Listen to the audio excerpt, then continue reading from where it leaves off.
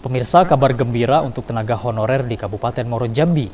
Bahwasanya pemerintah Kabupaten Moro Jambi melalui BKD direncanakan akan mengusulkan ribuan kuota formasi P3K tahun 2024 oleh pemerintah Kabupaten Moro Jambi.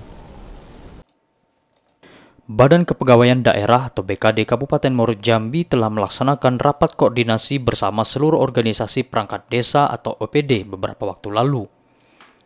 Rapat koordinasi yang membahas tentang pendataan tenaga honorer yang bekerja maupun bertugas di Satuan Kerja Perangkat Daerah atau SKPD di kabupaten yang berjuluk Bumi Sailun Salibai ini. Melalui Kabit Pengangkatan Pensiun dan Data ASN BKD Moro Jambi, Rini Herawati mengatakan, di wilayah Kabupaten Moro Jambi saat ini terdapat ribuan tenaga honorer yang bekerja di semua OPD, Menurutnya, jika di Kabupaten Muaro Jambi ada lebih kurang 3.000 tenaga honorer yang akan diperjuangkan untuk diangkat menjadi tenaga P3K, dan data yang digunakan itu merupakan data Oktober 2023 lalu.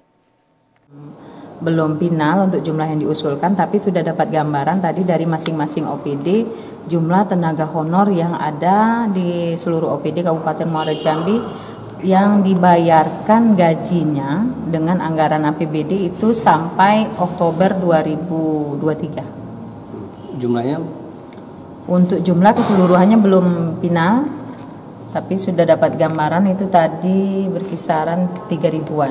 3 ribuan.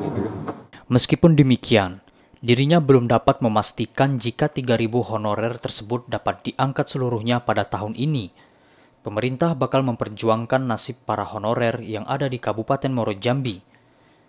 Sementara jumlah usulan belum final. Novia Putri Sanjaya, Cik TV melaporkan.